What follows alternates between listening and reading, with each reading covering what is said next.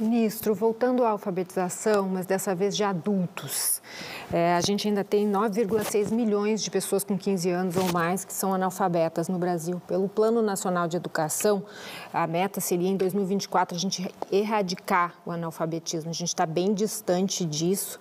Mas quando a gente olha para a EJA, para a educação de jovens e adultos, a gente vê que nos últimos anos houve um desmonte das políticas de EJA, uma diminuição drástica de investimento e as matrículas estão caindo ano a ano.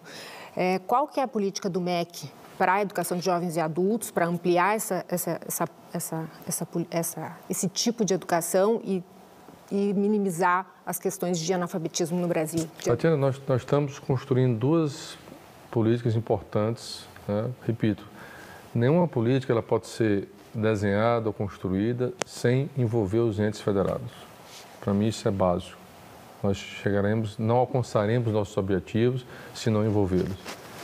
Quero lembrar que nós estamos apenas há praticamente cinco meses no Ministério. Estamos, priorizamos a política da alfabetização das crianças, priorizamos a política de tempo integral, está sendo construída a política é, de inclusão né, nas escolas especiais da perspectiva da inclusão, a política da educação especial na perspectiva da inclusão. Inclusive, nós estamos debatendo com outras entidades representativas para a gente poder lançar pelo presidente da República, serão é, volumosos investimentos que a gente quer fazer nessa questão da inclusão, garantir a inclusão dentro das escolas de pessoas com deficiência, né? a, a acessibilidade nas escolas, e estamos desenhando com a participação dos estados e municípios, principalmente dos estados, a política do eixo. Né? A, a, os resultados dos últimos anos foram muito ruins.